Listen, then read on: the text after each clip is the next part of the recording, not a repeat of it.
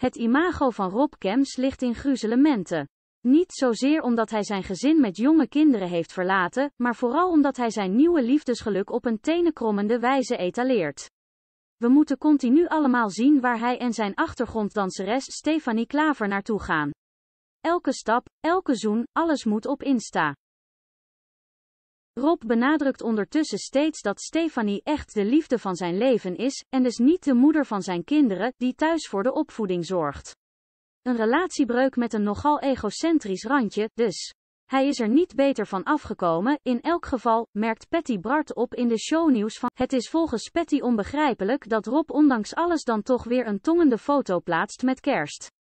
Maar het grappige is dan, het heeft wel wat imagoschade opgeleverd, maar dan is het nu kerst en dan worden er toch weer foto's gepost alsof Stefanie Klaver een soort van Sylvie Meis is en tongend en zoenend met haar lief. Patty denkt dat Rob heel erg wil uitstralen dat hij helemaal niets geeft om de kritiek.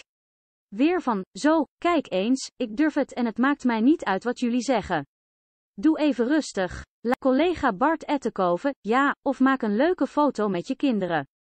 Patty, ja, Bart vindt het gedrag van Rob gewoon not dan. Hij plaatste ook redelijk snel na die breuk zo'n foto met de tekst, de liefde van mijn leven, of zo. Dat zijn altijd wel heel pijnlijke dingen. Ik denk ook dat het gevoel voor timing niet helemaal lekker was.